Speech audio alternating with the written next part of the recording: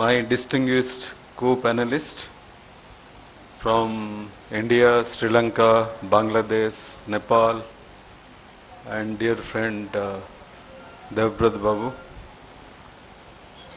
ଏବଂ ଆପଣମାନେ ସମସ୍ତେ ଆଜି ଯେଉଁ ଅବସରଟେ ମିଳିଛି ରେଡ଼ିଓ ନମସ୍କାର ତୁହାକୁ ତୁହା ଏଇଭଳି ଉତ୍ସବ ଆୟୋଜନ କରିଚାଲିଛନ୍ତି ଆଉ ଗୋଟିଏ ଆଶାର କିରଣ ବଞ୍ଚେଇକି ରଖିବା ପାଇଁ ଉଦ୍ୟମ କରୁଛନ୍ତି ତାକୁ ସୁଦୃଢ଼ କରିବାର କାମଟା ହେଉଛି ଆମମାନଙ୍କର ସମସ୍ତଙ୍କର। ଆନସାରୀ ଭାଇ ଏବଂ ବନ୍ଧୁମାନଙ୍କର ସେ ଯେଉଁ ବିନମ୍ର ଉଦ୍ୟମ ଆଉ ଉତ୍ସାହ ତାକୁ ଦେଖିକି ସବୁବେଳେ ଇଚ୍ଛା ହୁଏ ସେମାନଙ୍କ ସାଙ୍ଗରେ ରହିବା ପାଇଁ ରହି ହୁଏନି।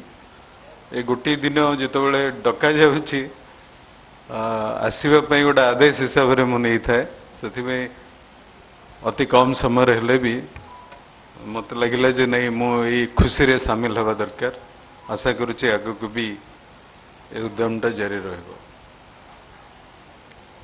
Friends, when we talk about alienation of media from the common man, it's not so simple.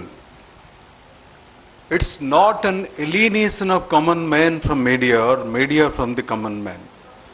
It's not an autonomous process. ଏଇଟା ଗୋଟେ ସ୍ୱୟଂ ସମ୍ପୂର୍ଣ୍ଣ ପ୍ରକ୍ରିୟା ନୁହଁ ଗଣମାଧ୍ୟମ ଲୋକଙ୍କଠୁ ଦୂରେଇ ଯାଉଛି ଆ ପଛରେ ବହୁତ କିଛି କଥା ଅଛି media is it autonomous? No, not at all. Media today is essentially part of corporations. Let us admit that. It's a fact. Media ଆଜିର ଦିନରେ କମ୍ପାନୀ ମାନଙ୍କର ଗୋଟେ ଅଂଶ media is not independent eat can never afford two B independent Either you say you are part of corporate media or you say you are trying to build up non-corporate media and I am part of that stream which is trying to build up non-corporate media. So therefore, by definition, when you are part of corporate media, you are essentially excluding the common man. So the alienation is inherent, is built in the process, and therefore you just cannot avoid the common will common man will get alienated the way Satyababu was presenting. You take up the issues of uh, uh, displacement, take up the issues of aggressive industrialization that Satyababu talked about in the beginning. Your forced migration, your large scale labor on unemployment. He was mentioning about GDP and wanted me to answer that. You all know that GDP is a false concept.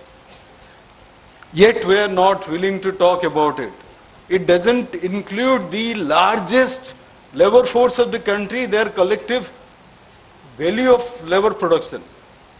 Your GDP doesn't take into account the collective value of the massive labor force you have in this country.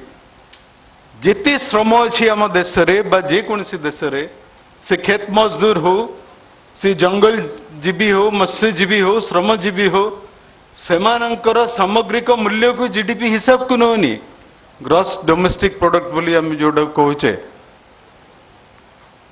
ଆଉ ତାକୁ ଆମେ କହିବା ତାକୁ କୋଉ ହିସାବରେ ଆମେ ବିଚାର କରିବା ଗୋଟେ economic indicator about the progress of a nation ଏଇ ସବୁ ଜିନିଷ ଗୁଡାକ କାହିଁକି ହଉଛି ଆପଣମାନେ ଦେଖନ୍ତୁ ଏଇଟା ଇଣ୍ଡିପେଣ୍ଡେଣ୍ଟଲି ହଉନାହିଁ all these developments are happening simultaneously. You see, all over the world, there is a decline of democracy. You know, we are happy that something has happened in Nepal. The monarchy is gone and new developments are happening, though, you know, the world is not so much clear about everything. Maybe our friend from Nepal will clarify what's happening over there. But all over the world, there is a decline of democracy. ଗଣତନ୍ତ୍ରର ଗୋଟେ ଅଧୋଗତି ସମଗ୍ର ବିଶ୍ୱରେ ଚାଲିଛି ଭାରତ ନେପାଳ ବା Indian ମାନେ south Asia ସବକଣ୍ଟିନେଣ୍ଟ ଗୋଟେ ଏକ୍ସେପସନ୍ ହେଇପାରିବନି କାହିଁକି through globalisation we are all integrated into one single system of economy whether you you are willing or not you have become subservient to a particular economic order which is dominating all over the world. Therefore democracy is least important today.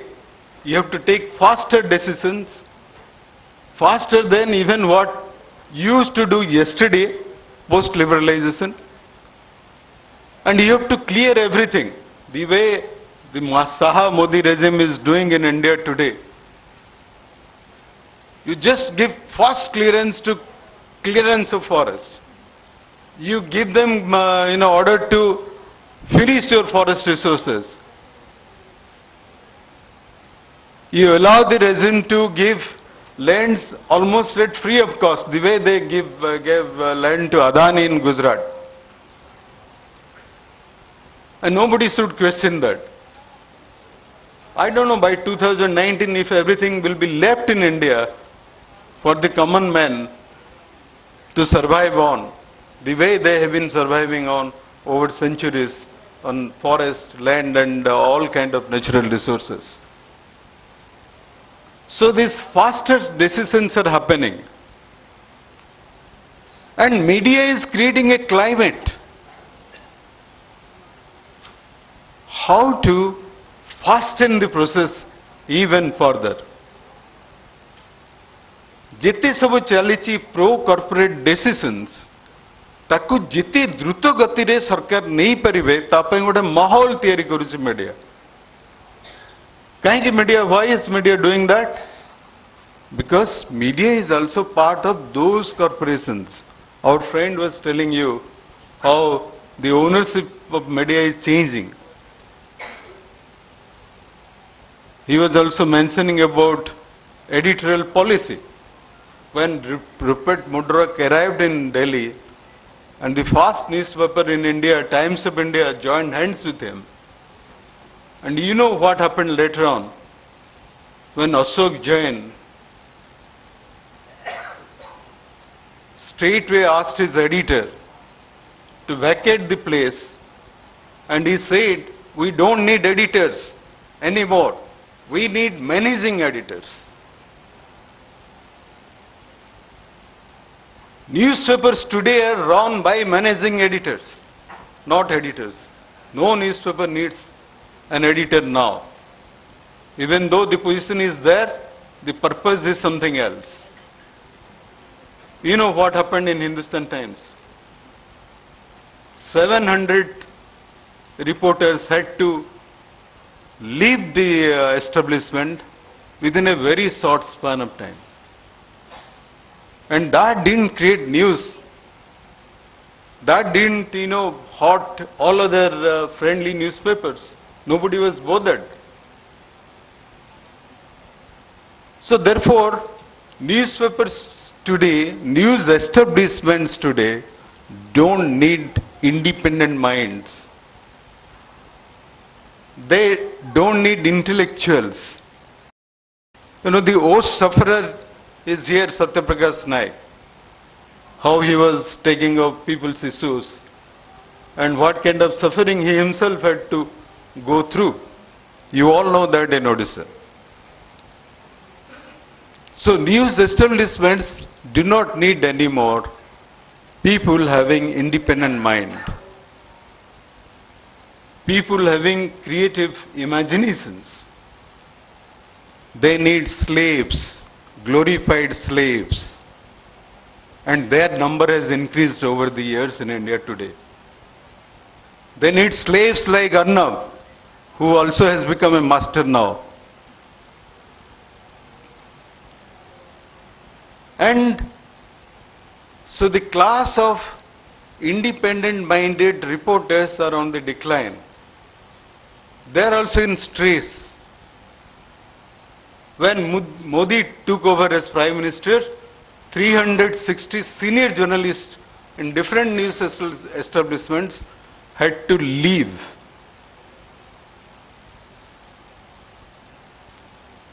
And therefore, friends, why this is happening? If media is autonomous, if media is independent, if media is capable of reporting things on its own strength, then why is it happening that, you know, when regimes change, also news establishments go through serious transformations? Why it is happening?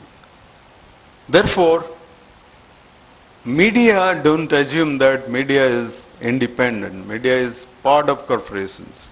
And corporations are now ruling. If you have read a very old book by Noam Chomsky, Manufacturing Consent Political Economy of Mass Media, how the military industrial complex is ruling the world, which had happened, you know, 40 years back. Now it is almost complete. The rule is complete. Not a single nation is free from their clutches. You see you, what your Prime Minister is doing today. Any nation uh, he goes abroad to visit, a team of business tycoons go with him. And not a single visit has happened where a defense agreement hasn't been signed with, a uh, with uh, another company in that country. So when two nation heads meet, we normally feel happy. We felt happy the day 10 South Asian leaders came to witness our Republic Day parade. But we don't know, and the media is not bringing out clearly what is happening behind. When two heads of nations meet, actually that is the cover ଦୁଇଟା ରାଷ୍ଟ୍ରର ମୁଖ୍ୟ ଯେତେବେଳେ ଭେଟୁଛନ୍ତି ସେଇଟା ହେଉଛି ଗୋଟେ ପରଦା ତା ପଛପଟେ କ'ଣ ହେଉଛି ଆମେ ଦେଖୁନାହାନ୍ତି what is happening behind that screen ଗୁଡ଼ାଏ ଏଗ୍ରିମେଣ୍ଟସ୍ ଗୁଡ଼ାଏ ଡିଲ୍ ସାଇନ୍ ହେଉଛି not between nation's between କର୍ପୋରେସନ୍ସ corporations from India, corporations from that particular country. ଆଉ ଯାହା ବନ୍ଧୁ ଆମର କହିଲେ friend uh, was talking about prior to most of the ownership of media has been appropriated by a few companies. Someone said in the coming days there will be only one company who will be dominating entire media sector and that is none other than Mukesh Ambani. You know his Digital India program. Lakh fifty thousand crores have been invested. And the digital media will control your every technology. Not only newspapers, TV channels. They will control all data medium. And, uh, you know, supposing today you are watching a TV channel, you think that that is giving you some independent view. But the tomorrow, if the cable operator is not happy with the channel, it will be blocked. You won't have any option. So therefore, the entire information sector is being controlled today by a handful of companies. Even it is further getting reduced to monopoly houses, which was earlier not there. So we are going through a very difficult time. And the common man is actually not aware of what is happening because even most of the educated class they do not know what is happening and very unconsciously the common man who was a citizen of a democracy has been reduced to a voter in a democratic system And you see the parallel in relation to media where the reader, the dignified reader, the dignified viewer has been reduced to news consumers. Therefore, a consumer only has to exercise options of switching to this channel or that channel, from this newspaper to that newspaper, but ultimately he won't know what is happening behind all these newspapers and all these channels. The history of media, I, I won't get into that because that's a, that will take a lot of time. But we all had a very dignified beginning. And we have been now reduced to a very sorry state of affairs. And the dichotomy between society and the state is increasing. And the state is being controlled by corporations.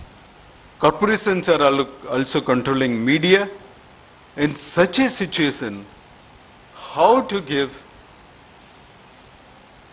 satya to the common man or to even power that be, satta, is a huge, huge challenge. That is where I say I don't accept the word alternative media, I say non corporate media. That is where we find a big role for non corporate media. Radio may look to be politically neutral at the moment, but I find it to be potentially political. If you are willing to use it in a tactful, strategic manner. I won't sermon, uh, you know, give a sermon on it. You know all that, but I would only tell you do that silently, gradually, slowly, consciously. You will definitely get better results. And when we are doing it, we are giving lot of emphasis on video and print. There is a purpose why we are doing that. Because you know, all other medium are controlled by technology. And technology, control of technology is not in the hands of common man. When you are talking about technology, you are ultimately landing off in the uh, arena which is dominated by corporations. WhatsApp, Facebook, 2014-15, they made uh, revenue of 56 billion dollars. So they are not alternative media. Social media is not alternative media. We are helplessly using it because we so get a space and we need to use that. We need to question, you know, why WhatsApp chief had to meet the prime minister again and again. You know, there are some some uh, developments happening. We need to critically evaluate them. So this technology is not available to the common man. Anytime they would like to use it, misuse it, abuse it, to their advantage, they can do that. Therefore, we have to innovate devices which will not force us any kind of dependency and which will not compel us to be at the mercy of these forces. Therefore, we are, we are you know, trying to expand the small newspaper, tabloid newspapers, and uh, which is why we are running a, an education program, Samadrusti Open School. We have three courses. We have started three courses. Just I'm telling you not to advertise because we normally don't do that. We are silently doing that because such an audience is there and people from other countries also have come. I think together we can create uh, a federation of uh, news cooperatives which can challenge news corporations. We are uh, imparting courses in three areas. One is we're doing it with, we did it independently, but now we're doing together with Loya Academy, journalism in uh, mass media, and uh, we are soon starting a cultural journalism, journalism in culture and communication, journalism in nature, science and society. all these streams will have newspapers in different areas, but there will be convergence. We're trying to reach out to all the 314 blocks in Odisha to begin with. And the video journalism will cover in all over. It's the medium is though in Odia, but uh, if you have seen our Madhyantar volumes, we all have English subtitles. And the referendum that we did in uh, uh, on Niyamgiri village uh, council meetings, that is available in both Hindi and uh, English. So we are trying to reach out to every village. Though we are not funded, we don't receive any support from anywhere. Therefore, the progress is slow. Yet we are struggling, the way Satyababu told you, we are struggling to reach out to the common man, to bridge up the gap between the civil society and the common man. Civil society is not common man. Civil society is necessarily not representative of the common man. And uh, we're trying to bridge up that gap. That is also there. So the state and common man divide is not as important to me as the divide between civil society and common man is. We're trying to bridge up that gap. Therefore, together they can put pressure at some point of time on state and force the state to become submissive to the common man so that democracy will get revived. Democracy is dying and uh, through these non-corporate media initiatives we all together can try and struggle to revive democracy. Thank you.